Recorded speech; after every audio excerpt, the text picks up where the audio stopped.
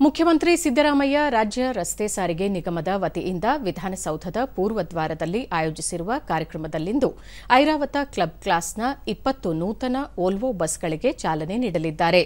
ಬಳಿಕ ಅವರು ವಿಧಾನಸೌಧದಲ್ಲಿ ಗಣಿ ಮತ್ತು ಭೂವಿಜ್ಞಾನ ಹಾಗೂ ಅರಣ್ಯ ಇಲಾಖೆಗಳ ವಿಷಯಗಳಿಗೆ ಸಂಬಂಧಪಟ್ಟಂತೆ ಅಧಿಕಾರಿಗಳೊಂದಿಗೆ ಸಭೆ ನಡೆಸಲಿದ್ದಾರೆ.